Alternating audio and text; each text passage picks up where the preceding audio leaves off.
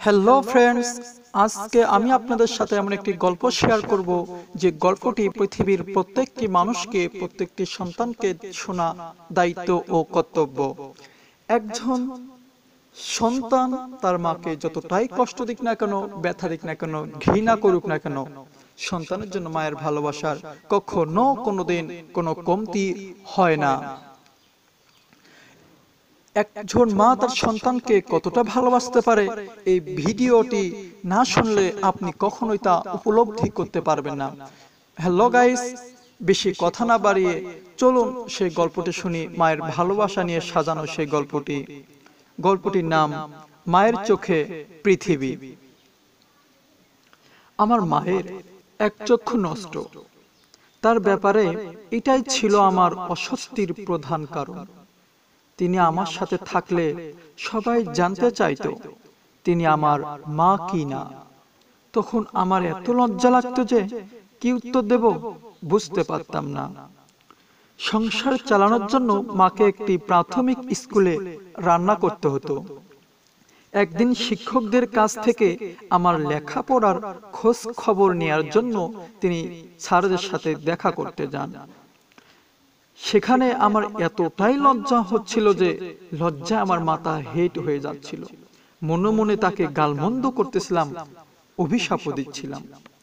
পরের দিন স্কুলে গেলে আমার এক সহপাঠী এসে বলল, গতকাল এক চক্ষু কানা যে লোকটি এসেছিল, যে মহিলাটি এসেছিল বাবুর্চি মহিলা, সে কি তোর মা?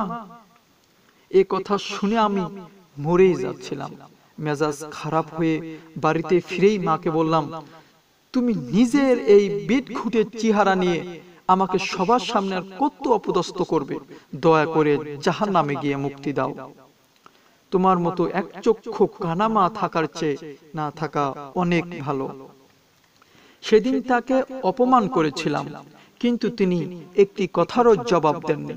চুপ করে দাঁড়িয়ে শুনছিলেন আমার কথাগুলো। আমার কথা শেষ হলে তিনি খুব নম্রভাবে আমার সামান থেকে চলে যায়। এরকম উদ্ধতা আচরণের জন্য সেদিনও আমি অনুতপ্ত হইনি। কেন জানি না তাকে দেখলে আমার বিরক্ত লাগতো। আমার কথায় সে আঘাত পেল কিনা তা আমার আসে যায় না। আমার সেদিকে কোনো খেয়ালই হয় না। আমি শুধু নিজের কথাই চিন্তা করতে থাকলাম। পড়াশোনা শেষ করে একটা চাকরি পেলে তাকে ফেলে দূরে কোথাও চলে যাব। এই সিদ্ধান্ত নিলাম। নিজেই একা একা অনেক সুখে থাকব সেখানে। কিন্তু এত ভালো, কিন্তু এত অপমানের পরেও মা সব সময় আমাকে নিয়ে ভাবতো, আমার পড়াশোনা নিয়ে ভাবতো। কঠোর পরিশ্রম করে একটা পর্যায়ে উচ্চ মাধ্যমিক পরীক্ষা আমি প্রথম স্থান অর্জন করি। সিঙ্গাপুরের একটি বিশ্ববিদ্যালয়ে পড়াশোনার জন্য বৃত্তি পেয়ে যায়। সেখান থেকে পড়াশোনা শেষ করে কয়েক বছর পর আবার দেশে ফিরে আসি।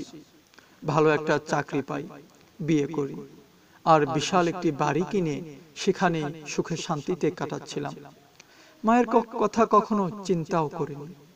তাছাড়া তাকে দেখারও কোনো ইচ্ছা আমার কখনো হয়নি। আমার স্ত্রী সন্তানদের সাথে দেখা করার জন্য কখনো আসতে বলিনি তাকে। এমনকি আমার সন্তানরাও জানতো না যে তাদের দাদি বেঁচে আছে।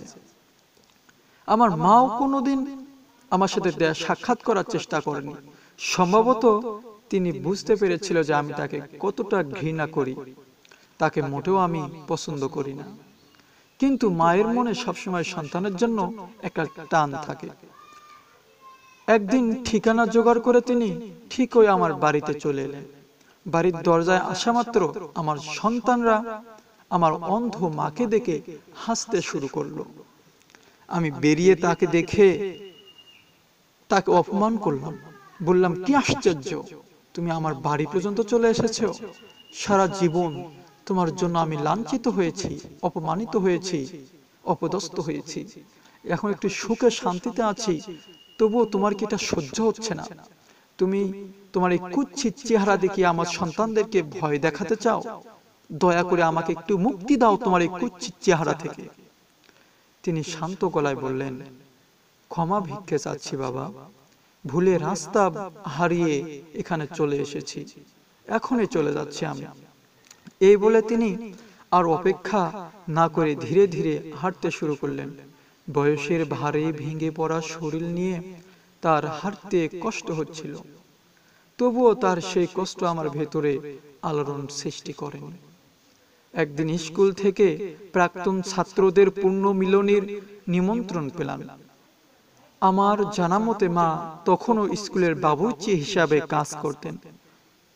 স্ত্রীর কাছে অন্য কোথাও যাওয়ার কথা বলে স্কুলের পূর্ণ মিলনীতে চলে এলাম।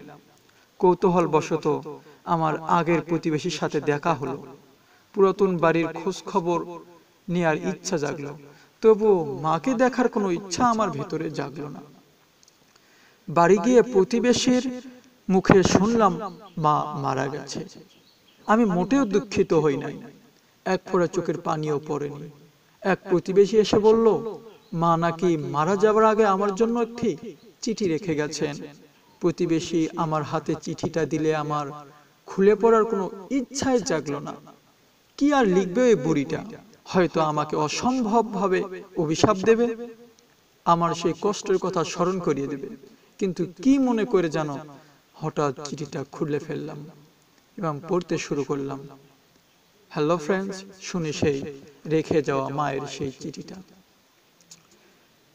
প্রিয় পুত্র, আমি মন থেকে চাইতাম তুমি লেখাপড়া শিখে অনেক বড় হও, সমাজে প্রতিষ্ঠিত হও। আজ তুমি সচ্ছল মানুষ হিসাবে প্রতিষ্ঠিত হয়েছ। অনেক দিন ধরে তোমাকে দেখার ইচ্ছা হচ্ছিল। তাই সেদিন না জানি তোমার বাড়ি গিয়ে উপস্থিত হয়েছে। তোমার সন্তানকে ভয় দেখানোর জন্য আমি দুঃখিত। আমি বুঝে উঠতে পারিনি। এমন অন্যায় কাজ করায় নিজেকে অনেক তিরস্কার করেছি আমি। তুমি পূর্ণ মিলনীতে আসবে শুনে খুবই খুশি হয়েছি। ভাবছিলাম তোমাকে এক নজর দেখতে পাবো। কিন্তু মনে হলো স্কুলে যাওয়া আমার উচিত হবে না। কারণ আমি চাই না আমার জন্য আর কখনো তুমি মানুষের সামনে বিব্রত হও। এদিকে বিছানা থেকে ওঠার শক্তিও আমার ছিল না। এতটা বছর একটি কথা তোমার কাছ থেকে আমি আড়াল করে রেখেছিলাম, গোপন করে রেখেছিলাম। আজ তোমাকে সেই গোপন কথাটি বলছি। ছোট্টবেলায় তোমার একটি দুর্ঘটনা ঘটে। সেই দুর্ঘটনায় তোমার একটি চোখ নষ্ট হয়ে যায়। তোমার একটি চোখ নষ্ট হওয়ায় কত কষ্ট সহ্য করেছে আমি, তা বলে বোঝাতে পারব না। তোমার চোখ হারিয়ে যাও, যাওয়ায় অসম্ভব কষ্ট হচ্ছিল তোমার, যা আমার মনে বারবার ধিক্কার দিচ্ছিল। ভালো মতো চলাফেরা করতে পারছিলে না তুমি। তোমার সেই অবস্থা দেখে আমি অত্যন্ত কষ্ট পাচ্ছিলাম। কিন্তু টাকা দিয়ে চোখ কেনার মতো সমর্থ আমার ছিল না, তাই অনেক ভেবে চিনতে নিজের একটি চোখ তোমাকে দান করেছিলাম। যেন জীবনে তোমার কোনো কষ্ট করতে না হয়।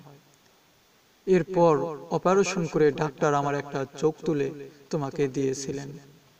তোমাকে এক চোখ দিয়ে দেখতে পারি যে কি তুমি, আমার একটি চোখ দিয়ে তুমি এই পৃথিবীকে দেখবে, এই খুশিতে আমি নিজেকে ধন্য মনে করতাম।